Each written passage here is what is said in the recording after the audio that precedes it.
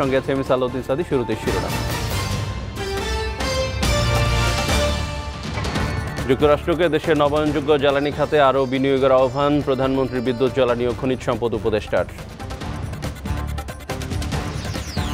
September থেকে Greece সরকার অনিবন্ধিত বাংলাদেশে অভিবাসীদের নিবন্ধন প্রক্রিয়া শুরু করতে যাচ্ছে, জানালো বাংলাদেশ দূতাবাস। মিশরে অন অ্যারাইভাল ভিসার ভ্রমণ করতে পারবে বাংলাদেশি নাগরিকরা, শর্ত সাপেক্ষে সুবিধা দিচ্ছে দেশটির সরকার।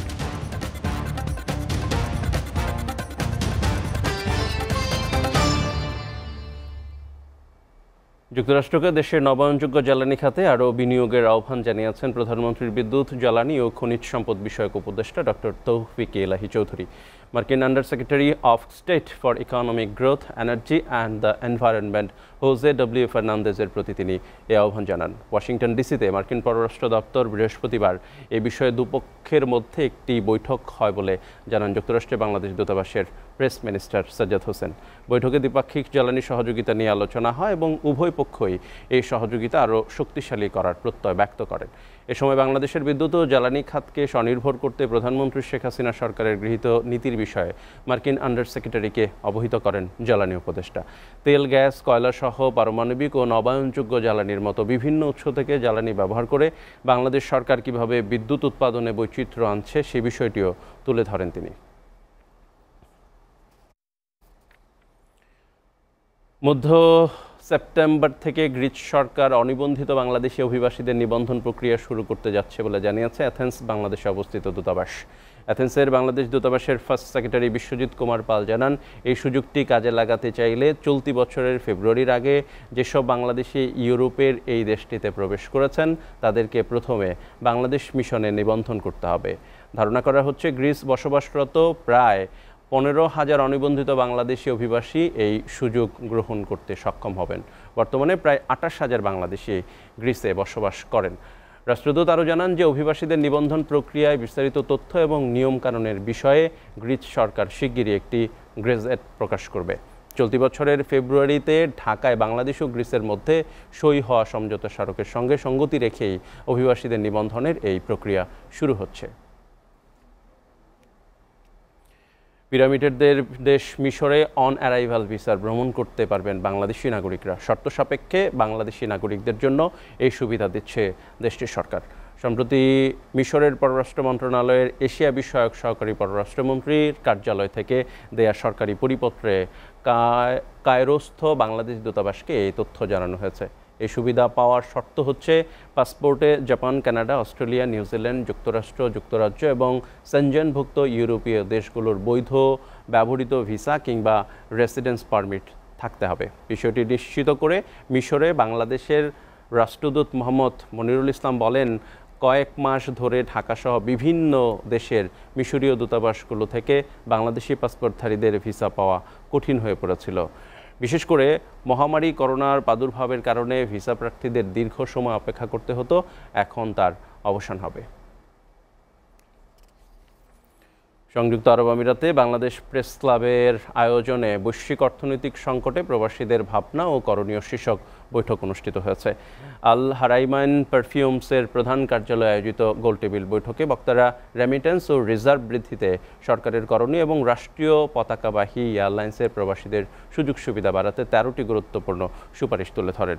গোলটেবিল বৈঠকে প্রধান অতিথি ছিলেন Bangladesh কনসুলেটের consul general B M Jamal Hossain. এতে বৈশ্বিক অর্থনৈতিক অবস্থা রেমিটেন্স প্রবাহ, ব্যবহার এবং বৃদ্ধির উপায় এবং বাংলাদেশ ও আমিরাতের মধ্যে বিনিয়োগের চিত্র তুলে ধরে মূল প্রবন্ধ উপস্থাপন করেন কনসুলেটের কমার্শিয়াল কাউন্সিলর কামরুল হাসান। বক্তারা দীর্ঘ আলোচনায় রেমিটেন্সের প্রবৃদ্ধি বাড়াতে বিভিন্ন গুরুত্বপূর্ণ বিষয় নিয়ে আলোচনা করেন। পাশাপাশি রাষ্ট্রায়ত্ত জনতা ব্যাংক ও বাংলাদেশ বিমানের সেবা, অন্যান্য সংস্থার সেবার সাথে সামঞ্জস্য করতে বিভিন্ন প্রস্তাব তুলে ধরেন তারা। এসিডিবি প্রভাস সংবাদে নিচ্ছে একটা বিরতি, ফিরে এসে থাকছে। যুক্তরাষ্ট্রের মিশিগানে চার দিনব্যাপী ভ্রাম্যমাণ কনসাল ক্যাম্প চালু। চার দিনের কনসুলার ক্যাম্পে ই পাসপোর্ট সেবা দেওয়া হবে একশো ছত্রিশ জনকে।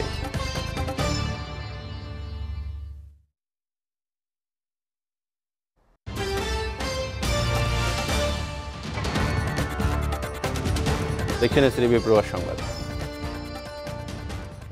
যুক্তরাষ্ট্রের মিশিগানে চার দিনব্যাপী ভ্রাম্যমাণ কনসোলার ক্যাম্প চালু হয়েছে। উনিশ আগস্ট থেকে শুরু হয় এই ক্যাম্প, চলবে বাইশ আগস্ট পর্যন্ত।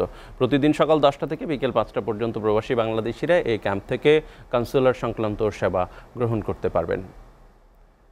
হ্যামস্টামিক শহরের আমিন রিয়ালিটি অফিসে স্থাপিত ব্রাহ্মমান এই ক্যাম্পটি সোমবার বিকেল পাঁচটা পর্যন্ত চলবে। প্রবাসী বাংলাদেশিদের দোরগোড়ায় সেবা পৌঁছে দিতে ওয়াশিংটনের বাংলাদেশ দূতাবাস চার দিনের এই ক্যাম্পের আয়োজন করেছে।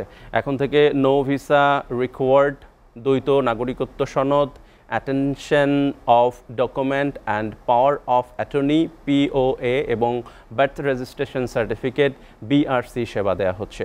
চার দিনের এই কনসুলার ক্যাম্পে একশো ছত্রিশ জনকে ই পাসপোর্ট সেবা দেয়া হবে।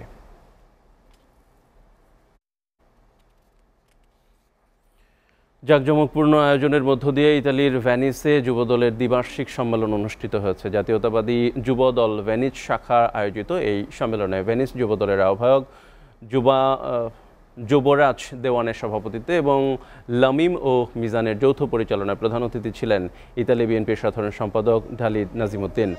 বিশেষ অতিথি ছিলেন ভ্যানিস বিএনপির সভাপতি আবদুল্লা আজিজ সেলিম এবং সাধারণ সম্পাদক শমশের আকবর পলাশ। পবিত্র কোরআন তেলাওয়াতের মধ্য দিয়ে অনুষ্ঠান শুরু হয়।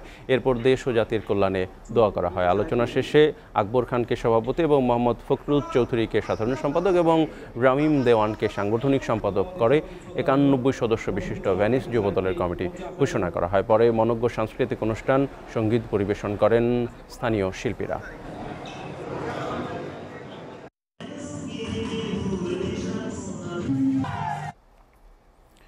এসিডিবি প্রবাস সংবাদে নিচ্ছে শেষ বিরতি, ফিরে এসে থাকছে।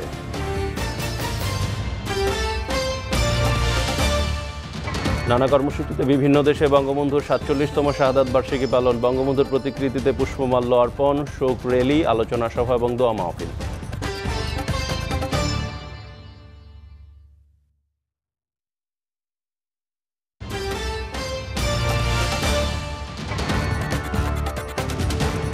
দেখছেন এসিডিবি প্রবাস সংবাদ। বঙ্গবন্ধুর প্রতিকৃতিতে পুষ্পমাল্য অর্পণ, শোক র্যালি, আলোচনা সভা, দোয়া মাহফিল, খাদ্য বিতরণ সহ নানা কর্মসূচির মধ্য দিয়ে বিভিন্ন দেশে বঙ্গবন্ধুর সাতচল্লিশতম শাহাদত বার্ষিকী ও জাতীয় শোক দিবস পালিত হয়েছে।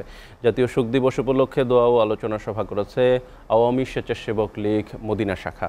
মদিনার একটি কনফারেন্স হলে আয়োজিত অনুষ্ঠানে সংগঠনের সভাপতি আব্দুল হান্নান মুসাফিরের সভাপতিত্বে এবং সাধারণ সম্পাদক নাসির উদ্দিন নুরির পরিচালনায় প্রধান অতিথি ছিলেন আওয়ামী লীগের ধর্ম বিষয়ক উপকমিটির সদস্য লায়ন রফিকুল ইসলাম। বিশেষ অতিথি ছিলেন মদিনা আওয়ামী যুবলীগের ভারপ্রাপ্ত সভাপতি জহিরুল ইসলাম সহ আরও অনেকে। পরে সকল শহীদের রুহের মাখ ফেরাত কামনায় বিশেষ মনোজাত করা হয়। সংযুক্ত আরব আমিরাতের আজমানে বঙ্গবন্ধুর আদর্শের সৈনিক গঠনের উদ্যোগে বঙ্গবন্ধু শেখ মুজিবুর রহমানের সাতচল্লিশতম শাহাদ বার্ষিকী উপলক্ষে দোয়া মাহফিল অনুষ্ঠিত হয়েছে। এ সময় বক্তারা বলেন, পনেরোই আগস্ট বাঙালি জাতির সবচেয়ে বেদনাদায়ক এবং কলঙ্কিত ঘটনা। অনুষ্ঠানে প্রধান অতিথি ছিলেন হবিগঞ্জ জেলা স্বেচ্ছাসেবক লীগের সাবেক সভাপতি সৈয়দ কামরুল ইসলাম, বিশিষ্ট রাজনীতিবিদ হাজি মোহাম্মদ আব্বাস উদ্দিনের সভাপতিত্বে এবং আজমান যুবলীগের সাধারণ সম্পাদক হারুনুর রশিদ রঙুর উপস্থাপনায়। প্রধান বক্তা ছিলেন আওয়ামী যুবলীগের আজমান প্রাদেশিক শাখার সভাপতি মুর্শিদুল কাদের মুন্না। লন্ডনের কেন্টিশতে কিরাত, আজান এবং ওয়াজ মাহফিল প্রতিযোগিতা অনুষ্ঠিত হয়েছে। ওয়েস্ট লন্ডনের কেন্টিশ টাউন বাইতুল আমান মসজিদের হলরুমে কেটি বিএএম একাডেমির উদ্যোগে এই প্রতিযোগিতার আয়োজন করা হয়। এতে সভাপতিত্ব করেন মসজিদ কমিটির সভাপতি মোহাম্মদ শাহজাহান এবং অনুষ্ঠান পরিচালনায় ছিলেন মসজিদের secretary Kamal Hossain. London East Academy, Darul Quran London, Mazahirul Uloom Coventry Cross মসজিদ সহ আরও অনেকে ইসলামিক একাডেমি ছাত্রছাত্রীরা এই প্রতিযোগিতায় অংশগ্রহণ করেছে। অনুষ্ঠান শেষে বিজয়ীদের মাঝে আকর্ষণীয় পুরস্কার ও পদক দেওয়া হয়।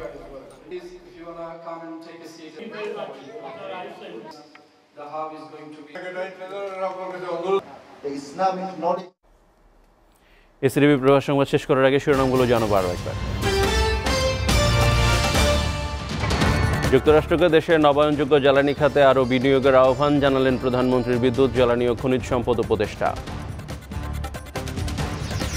সেপ্টেম্বর থেকে গ্রিচ সরকার অনুবন্ধিত বাংলাদেশে অভিবাসীদের নিবন্ধন প্রক্রিয়া শুরু করতে যাচ্ছে, জানালো বাংলাদেশ দূতাবাস। মিশরে অন অ্যারাইভাল ভিসা ভ্রমণ করতে পারবে বাংলাদেশি নাগরিকরা, শর্ত সাপেক্ষে সুবিধা দিচ্ছে দেশটির সরকার।